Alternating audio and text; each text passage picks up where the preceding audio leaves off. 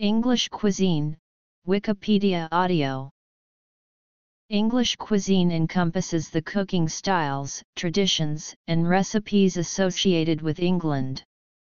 It has distinctive attributes of its own, but also shares much with wider British cuisine, partly through the importation of ingredients and ideas from North America, China, and India during the time of the British Empire and as a result of post-war immigration.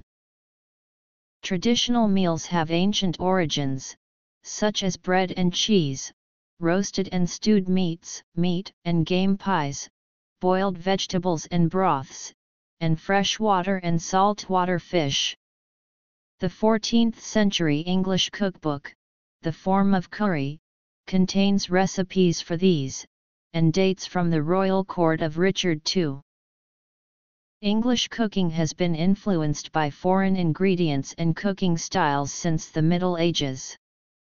Curry was introduced from the Indian subcontinent and adapted to English tastes from the 18th century with Hannah Glasse's recipe for chicken curry.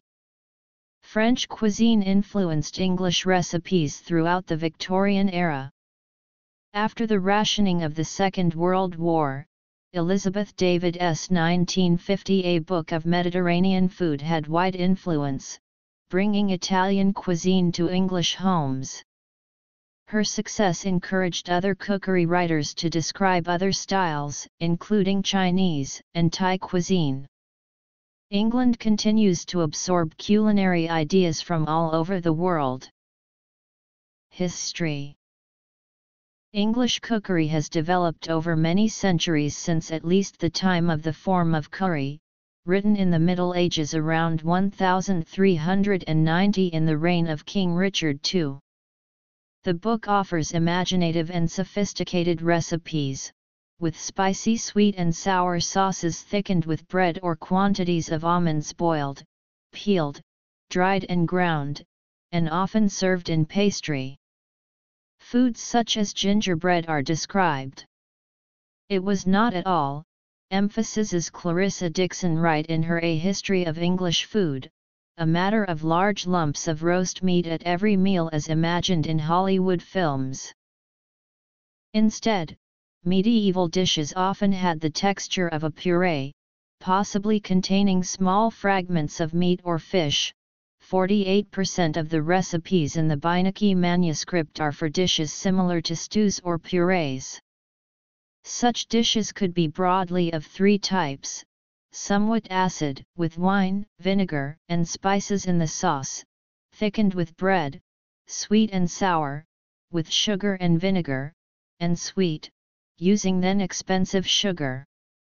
An example of such a sweet puree dish for meat from the Beinecke manuscript is the rich, saffron yellow mort ruiz, thickened with egg. Take brawn of capons and pork, soden and grounden, tempere hit up with milk of almonds drawn with the broth. Set hit on the fire, put to segur and saffron. When hit boileth, tack some of thy milk, boiling, fro the fire and daily hit up with yolks of Aaron that hit bryght charge ant, styre hit wel for quelling. Put thur to that a thur, and stir hem to jedder, and serve hem forth as mort ruiz, and strew on poudre of ginger. The early modern period saw the gradual arrival of printed cookery books, though the very first, the printer Richard Pynson's 1500 Book of Cookery was compiled from medieval texts.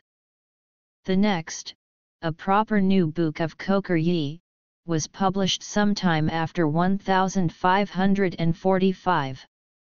The Secrets of the Reverend Maester Alexis of Piemont was published in 1558 translated from a French translation of Alessio Piemonte's original Italian work on confectionery. The number of titles expanded rapidly towards the end of the century to include Thomas Dawson's The Good Huswife's Jewel in 1585, the Book of Cookery by A.W. In 1591, and John Partridge's The Good Housewife's Handmaid in 1594. These books were of two kinds, collections of so-called secrets on confectionery and health remedies, aimed at aristocratic ladies, and advice on cookery and how to manage a household, aimed at women from more ordinary backgrounds, most likely wives of minor aristocrats, clergymen, and professional men. English tastes evolved during the 16th century in at least three ways. Firstly, recipes emphasize a balance of sweet and sour. Secondly, butter becomes an important ingredient in sauces, a trend which continued in later centuries.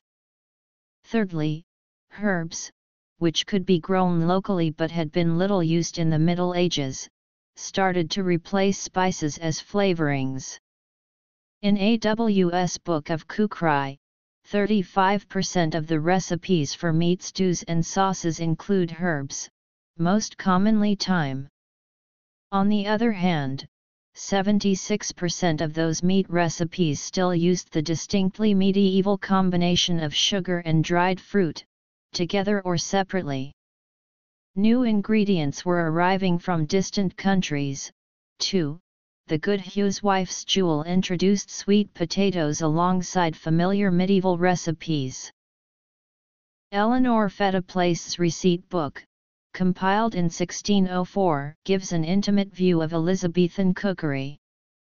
The book provides recipes for various forms of bread, such as buttered loaves, for apple fritters, preserves and pickles, and a celebration cake for 100 people. New ingredients such as the sweet potato appear. A recipe for dressing a shoulder of mutton calls for the use of the newly available citrus fruits. Take a shoulder of mutton and being half roasted, cut it in great slices and save the gravy then take claret wine and cinnamon and sugar with a little cloves and mace beatney and the peel of an orange cut thin and minced very small. Put the mutton the gravy and these things together and boil YT between two dishes, ringe the juice of an orange into YT as YT boileth, when YT is boiled enough lay the bone of the mutton beinge first broiled in the dish with it then cut slices of lemons and lay on the mutton and so serve YT in. Pies were important both as food and for show, the nursery rhyme sing a song of sixpence, with its lines 4 and 20 blackbirds slash baked in a pie. Slash slash when the pie was opened, the birds began to sing refers to the conceit of placing live birds under a pie crust just before serving at a banquet. The best-selling cookery book of the early 17th century was Gervase Markham's The English Housewife, published in 1615. It appears that his recipes were from the collection of a deceased noblewoman, and therefore dated back to Elizabethan times or earlier. Women were thus becoming both the authors of cookery books and their readers, though only about 10% of women in England were literate by 1640.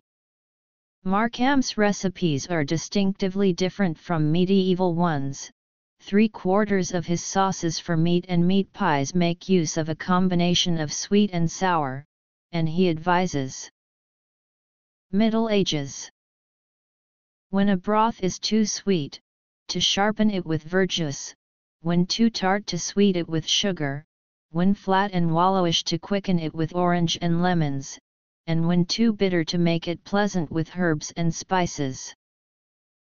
Robert May's The Accomplished Cook was published in 1660 when he was 72 years old.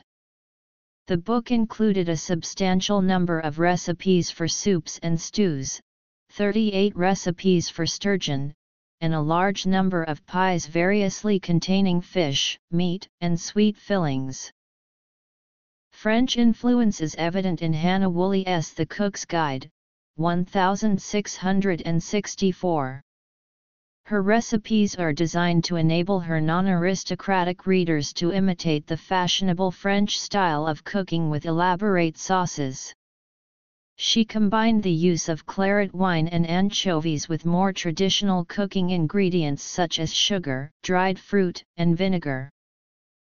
John Nott's The Cook's and Confectioner's Dictionary, still with rather few precedents to go by, chose an alphabetical treatment for its recipes, from al to zest. The book covered everything from soups and salads to meat and fish, as well as pastries of many kinds, confectionery, and the making of beer, cider, and wine.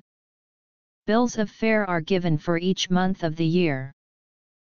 James Woodforde's Diary of a Country Parson gives a good idea of the sort of food eaten in England in the 18th century by those who could afford to eat whatever they liked. To welcome some neighbours on June 8, 1781, he gave them for dinner. A couple of chicken boiled and a tongue, a leg of mutton boiled and capers and batter pudding for the first course, second, a couple of ducks roasted and green peas, some artichokes, tarts, and blancmange. After dinner, almonds and raisins, oranges and strawberries, mountain and port wines. Peas and strawberries the first gathered this year by me. We spent a very agreeable day. Another country clergyman, Gilbert White, in the Natural History of Selborne recorded the increased consumption of vegetables by ordinary country people in the south of England, to which, he noted, potatoes had only been added during the reign of King George III. 16th century 17th century Green stalls in cities now support multitudes in comfortable state, while gardeners get fortunes. Every decent laborer also has his garden, which is half his support, and common farmers provide plenty of beans, peas, and greens, for their hinds to eat with their bacon.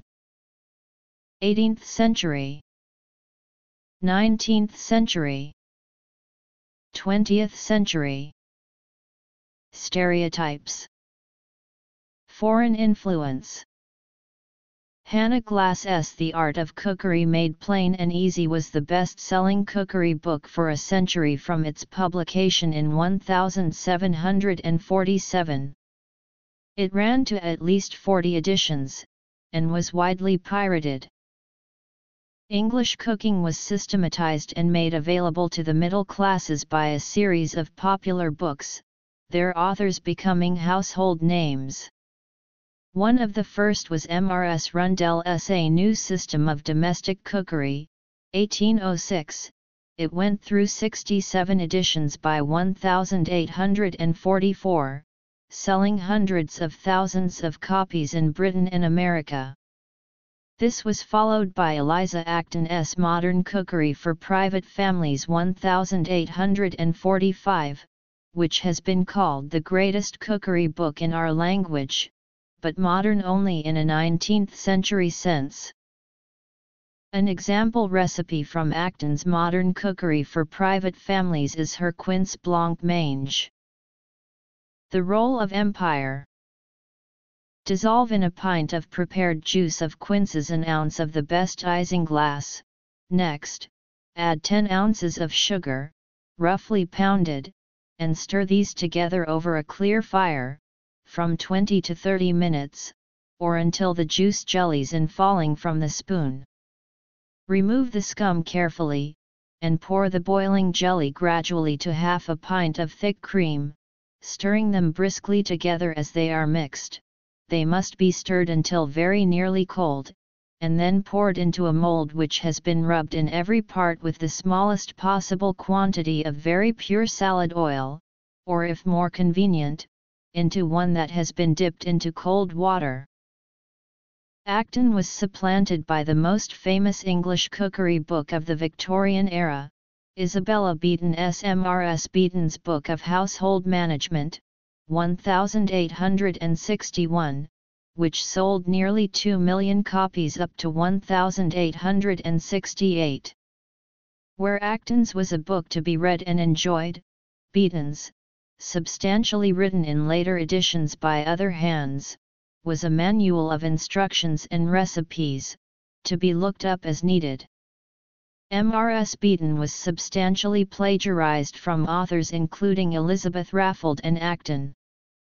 The Anglo-Italian cook Charles Elm Francatelli became a celebrity, cooking for a series of aristocrats, London clubs, and royalty including Queen Victoria. His 1846 book The Modern Cook ran through 29 editions by 1896, popularizing an elaborate cuisine described throughout with French terminology, and offering bills of fare for up to 300 people. Three of the major hot drinks popular in England, tea, coffee, and chocolate, originated from outside Europe and were already staple items by Victorian times.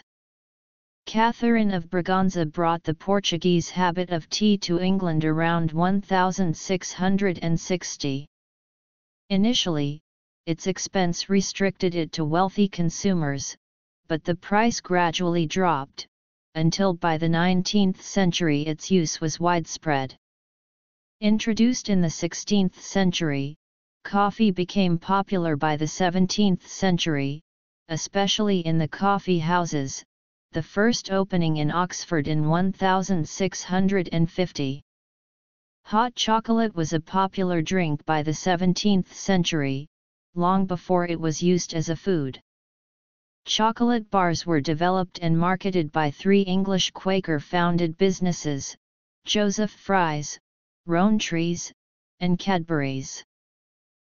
After the First World War, many new food products became available to the typical household, with branded foods advertised for their convenience. Kitchen servants with time to make custards and puddings were replaced with instant foods in jars, or powders that the housewife could quickly mix. American-style dry cereals began to challenge the porridge and bacon and eggs of the middle classes, and the bread and margarine of the poor. While wartime shipping shortages had sharply narrowed choice, the 1920s saw many new kinds of fruit imported from around the world, along with better quality, packaging, and hygiene, aided by refrigerators and refrigerated ships. Rationing was introduced in 1940 to cope with the shortages caused by the wartime blockade. Foods such as bananas, onions, and chocolate became hard to find, while unfamiliar items such as dried egg, dried potato, whale meat, the tinned pork products spam, and the disgusting imported fish called snook appeared in the national diet. Since butter, sugar, eggs and flour were all rationed, English dishes such as pies and cakes became hard to make from traditional recipes. Instead, foods such as carrots were used in many different dishes, their natural sugars providing sweetness in novel dishes like carrot fudge. The diet was less than enjoyable, but paradoxically, rationing meant that the population was healthier than ever before, and perhaps ever since. The Ministry of Food employed home economists such as Marguerite Patten to demonstrate how to cook economically.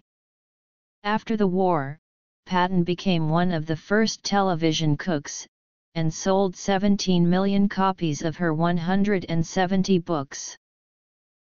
Elizabeth David profoundly changed English cooking with her 1950 A book of Mediterranean food.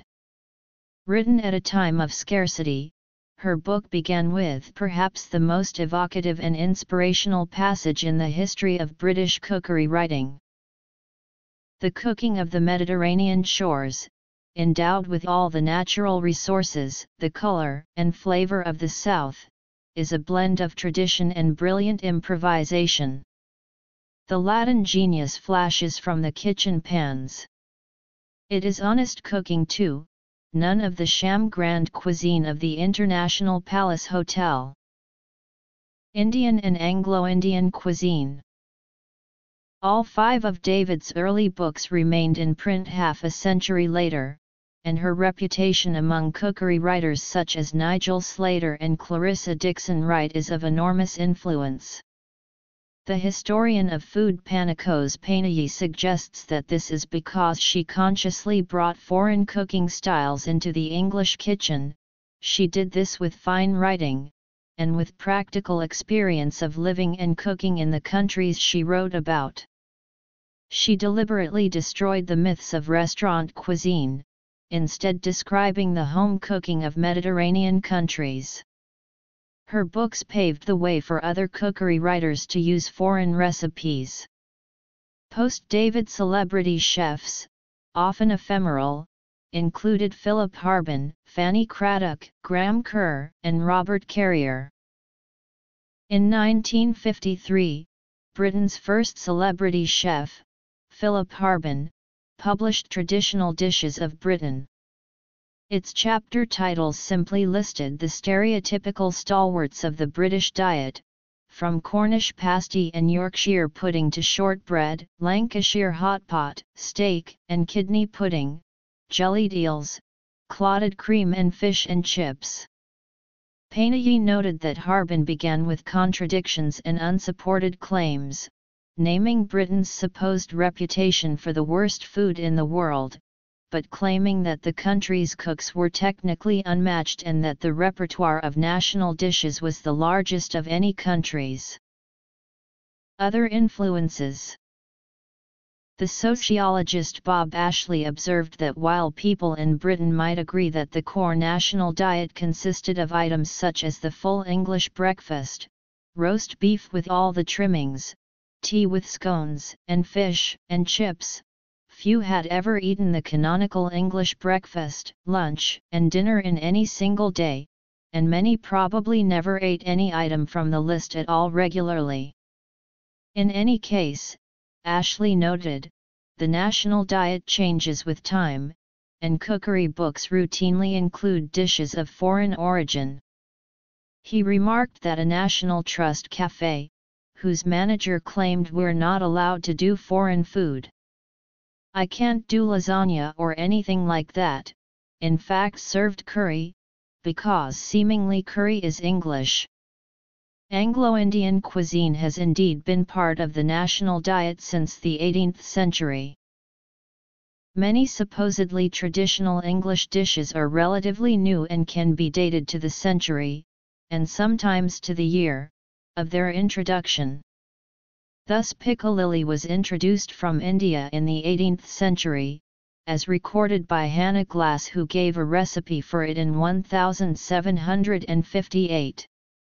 Conversely, dishes and sauces still considered foreign, such as fish in sweet and sour sauce, have been in English recipe books since the Middle Ages. Other dishes took their present form only gradually, as with the so-called full English breakfast. Breakfasts of this kind are indeed described in later editions of M.R.S. Beeton, but as one of many variations. Thus her list of family breakfasts for a week in winter has for Wednesday something that looks fairly modern, bread, muffins, butter, brawn, grilled bacon, boiled eggs, but on other days less modern-looking breakfasts include mince, mutton cutlets, grilled kidneys, baked fresh herrings, and hash of cold game or poultry, while suggestions for family breakfasts for a week in summer included sardine toast, cold tongue, kedgeree, and rissoles, and guests' breakfast included cold pheasant, game pie, and pressed beef. Food establishments Cafes and tea shops Fish and chip shops.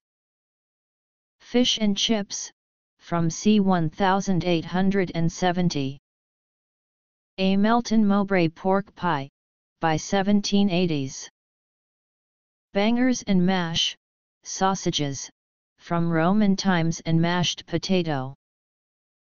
Piccalilli, a pickle derived from Indian cooking by 1758. English sandwiches, by 1762. Full English breakfast with sausage, bacon, tomatoes, and eggs. Cream tea, tea, scones, clotted cream, raspberry jam. Sunday roast, roast beef, roast potatoes, vegetables, and Yorkshire pudding. Steak and kidney pudding. Pasty.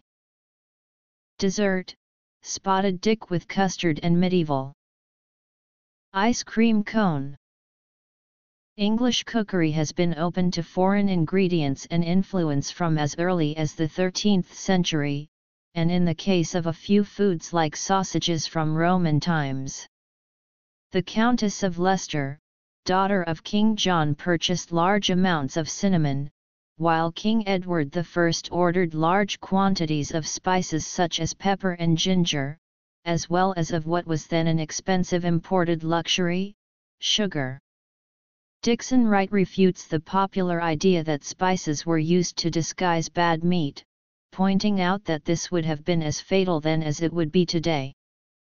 She suggests instead that spices were used to hide the taste of salt, which was used to preserve food in the absence of refrigeration.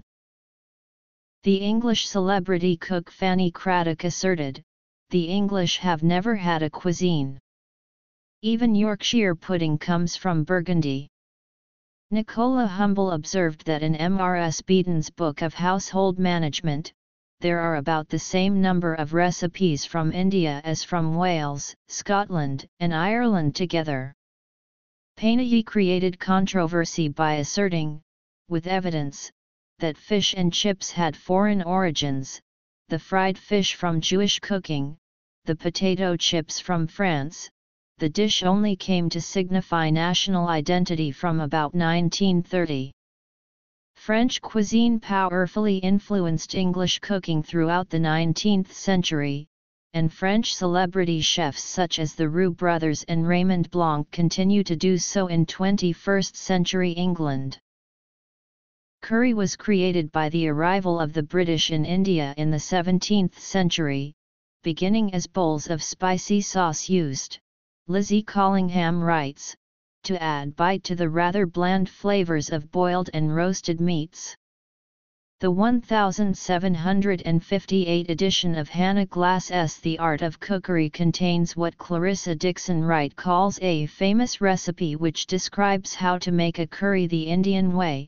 It flavors chicken with onions fried in butter, the chicken being fried with turmeric, ginger, and ground pepper, and stewed in its own stock with cream and lemon juice. Dickson Wright comments that she was a bit skeptical of this recipe, as it had few of the expected spices, but was pleasantly surprised by the end result which had a very good and interesting flavor. The process of adapting Indian cooking continued for centuries. Anglo-Indian recipes could completely ignore Indian rules of diet, such as by using pork or beef. Some dishes, such as liver curry, with bacon were simply ordinary recipes spiced up with ingredients such as curry powder. In other cases like kedgeree, Indian dishes were adapted to British tastes. Khichdi was originally a simple dish of lentils and rice. Curry was accepted in almost all Victorian-era cookery books, such as Eliza Acton's Modern Cookery for Private Families, she offered recipes for curried sweetbreads and curried macaroni, merging Indian and European foods into standard English cooking. By 1895, curry was included in dainty dishes for slender incomes, aimed at the poorer classes. Foreign influence was by no means limited to specific dishes. James Walvin, in his book Fruits of Empire, argues that potatoes, sugar, tea, and coffee as well as increasing quantities of spices were fruits of empire that became established in Britain between 1660 and 1800, so that by the 19th century their exotic origins had been lost in the mists of time and had become part of the unquestioned fabric of local life. During the British Raj, Britain first started borrowing Indian dishes, creating Anglo-Indian cuisine, with dishes such as kedgeree and mulligatawny soup. Indian food was served in coffee houses from 1809, and cooked at home from a similar date as cookbooks of the time attest. The Veeraswamy restaurant in Regent Street, London, was opened in 1926, at first serving Anglo-Indian food, and is the oldest surviving Indian restaurant in Britain. There was a sharp increase in the number of curry houses in the 1940s, and again in the 1970s. The post-colonial Anglo-Indian dish chicken tikka masala was apparently invented in Glasgow in the early 1970s, while Balti cuisine was introduced to Britain in 1977 in Birmingham. In 2003, there were roughly 9,000 restaurants serving Indian cuisine in Britain. The majority of Indian restaurants in Britain are run by entrepreneurs of Bangladeshi and Pakistani origin. According to Britain's Food Standards Agency, the Indian food industry in the United Kingdom was worth £3.2 billion in 2003, accounting for two-thirds of all eating out, and serving about 2.5 million British customers every week. Indian restaurants typically allow the diner to combine base ingredients chicken, prawns, or meat with curry sauces from the mild korma to the scorching phaal without regard to the authenticity of the combination. The reference point for flavor and spice heat is the Madras curry sauce. Other sauces are sometimes variations on a basic curry sauce, for instance, vindaloo is often rendered as a fiery dish of lamb or chicken in a madras sauce with extra chili, rather than the Anglo-Indian dish of pork marinated in wine vinegar and garlic, based on a Goan Portuguese dish carne de vinha de alhos.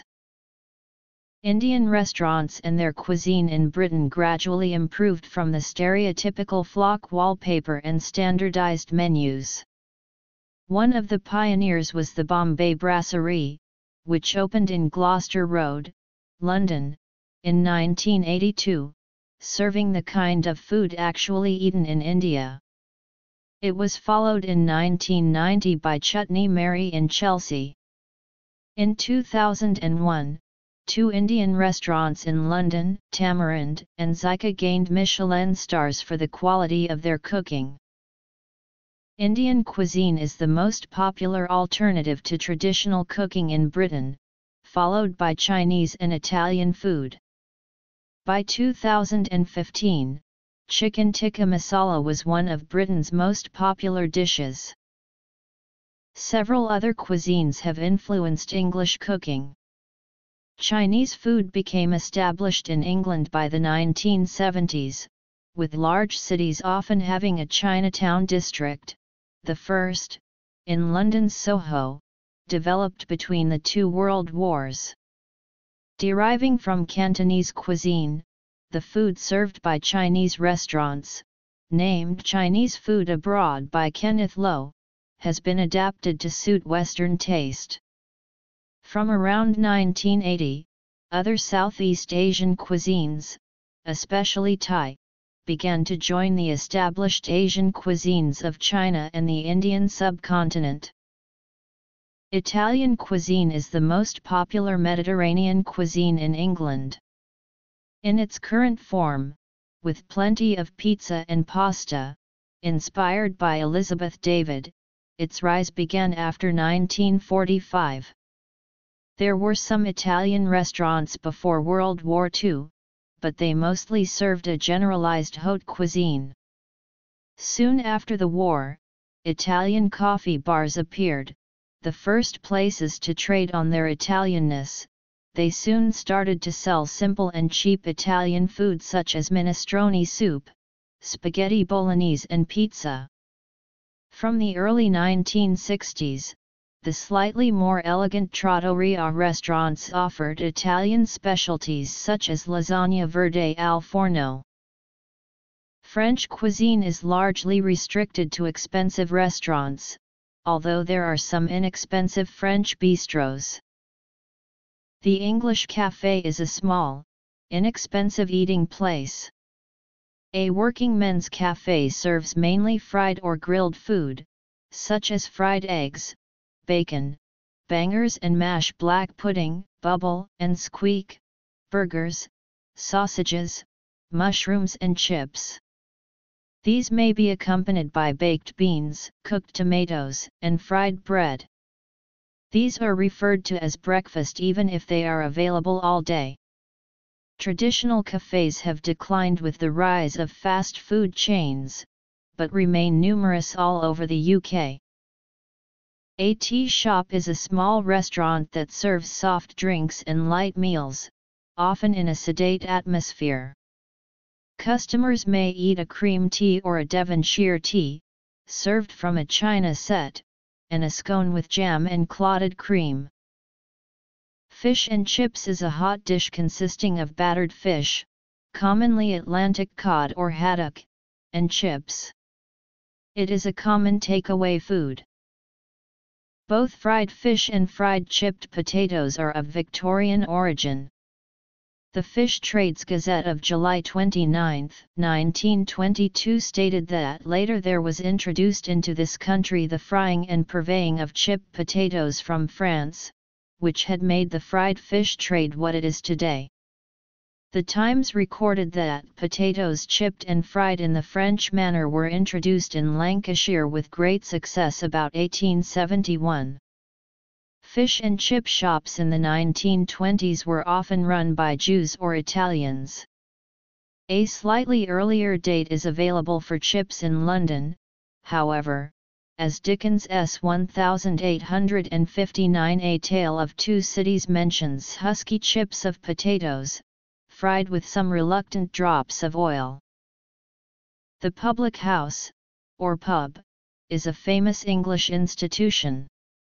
In the mid-20th century, pubs were drinking establishments with little emphasis on the serving of food, other than bar snacks, such as pork scratchings, pickled eggs, salted crisps, and peanuts, which helped to increase beer sales. If a pub served meals these were usually basic cold dishes such as a ploughman's lunch, invented in the 1950s. In the 1950s some British pubs started to offer a pie and a pint, with hot individual steak and ale pies made easily on the premises by the landlord or his wife. In the 1960s this was developed into the then fashionable chicken in a basket, a portion of roast chicken with chips, served on a napkin, in a wicker basket, by the Mill Pub at Withington. Quality dropped but variety increased with the introduction of microwave ovens and freezer food. Pub grub expanded to include British food items such as steak and ale pie, steak and kidney pudding, shepherd's pie, fish and chips, bangers and mash, Sunday roast, and pasties. The gastropub movement of the 21st century, on the other hand, seeks to serve restaurant quality food, cooked to order from fresh ingredients, in a pub setting. In 1964, pubs were serving 9.1% of meals eaten outside the home, this rose rapidly to 37.5% by 1997. Modern Western vegetarianism was founded in the United Kingdom in 1847 with the world's first vegetarian society. It has increased markedly since the end of World War II, when there were around 100,000 vegetarians in the country. By 2003 there were between 3 and 4 million vegetarians in the UK, one of the highest percentages in the Western world, while around 7 million people claim to eat no red meat. By 2015, 11 of 22 restaurant chains studied by the Vegan Society had at least one vegan main course on their menu, though only six of these explicitly labeled them as vegan dishes. Top-end vegetarian restaurants remain relatively few, though they are increasing rapidly, there were some 20 in Britain in 2007, rising to 30 in 2010. English cuisine in the 20th century suffered from a poor international reputation. Keith Arscott of Chawton House Library comments that at one time people didn't think the English knew how to cook and yet these female writers were at the forefront of modern-day cooking. English food was popularly supposed to be bland, but English cuisine has made extensive use of spices since the Middle Ages, introduced curry to Europe, and makes use of strong flavorings such as English mustard. It was similarly reputed to be dull, like roast beef, but that dish was highly prized both in Britain and abroad, and few people could afford it. The roast beef of Old England lauded by William Hogarth in his 1748 painting celebrated the high quality of English cattle, which the French at the Gate of Calais could only look at with envy. The years of wartime shortages and rationing certainly did impair the variety and flavor of English food during the 20th century, but the nation's cooking recovered from this with increasing prosperity and the availability of new ingredients from soon after the Second World War. In 2005, 600 food critics writing for the British Restaurant magazine named 14 British restaurants among the 50 best restaurants in the world, the number one being the Fat Duck in Bray, Berkshire, led by its chef Heston Blumenthal. The global reach of London has elevated it to the status of a leading centre of international cuisine. Meanwhile, the list of United Kingdom food and drink products with protected status under European Union law has increased rapidly, with 59 items including Cornish sardines, Yorkshire Wensleydale cheese and Yorkshire forced rhubarb, Fenland celery, West Country lamb and beef and traditional Cumberland sausage listed as registered in 2015, and a further 13 including Birmingham Balti listed as applied for. By 2016 there were 12 cheeses from England with PDO status. Pub food. Vegetarianism. Quality. Notes. Sources